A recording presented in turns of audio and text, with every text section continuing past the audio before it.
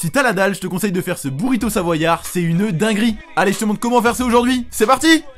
Pour commencer, tu vas prendre des pommes de terre cuisson rapide que tu vas couper en rondelles, tu mets tout ça directement dans une poêle avec de l'huile d'olive par-dessus, tu vas les laisser revenir pendant quelques minutes avec un couvercle, dès qu'elles sont bien dorées comme il faut, tu vas pouvoir ajouter les lardons, tu mélanges bien le tout et ensuite tu remets ton couvercle, pendant que c'est tranquillement en train de cuire, tu vas prendre un oignon que tu vas couper en petits morceaux, et là rien de plus simple, tu vas venir les ajouter directement dans ta poêle, tu les laisses cuire tranquillement pendant 2-3 minutes, ensuite tu vas ajouter un peu de crème liquide par-dessus avec du sel et du poivre, pour avoir ce bon côté savoyard, on va ajouter un peu de reblochon ou du fromage à tartiflette, tu laisses fondre tranquillement avec le couvercle et pendant ce temps-là sur une tortilla, tu vas venir mettre un peu de crème fraîche, une poignée de mozzarella râpée avec quelques tranches deux bacon par-dessus. Dès que ton fromage a bien fondu, c'est parfait, tu vas pouvoir prendre ta préparation et la verser directement par-dessus ton bacon. Pour le pliage, c'est hyper facile, tu fais exactement comme dans la vidéo. Pour faire revenir le burrito, rien de plus simple, tu vas venir le mettre dans la poêle pendant quelques minutes, environ 2-3 minutes de chaque côté. Dès que c'est fait, tu vas pouvoir le sortir. Enfin, je te conseille de le couper en deux, ça sera plus facile pour le manger. T'as plus qu'à servir avec une petite sauce. Allez, je te laisse, t'as plus qu'à déguster. Et au fait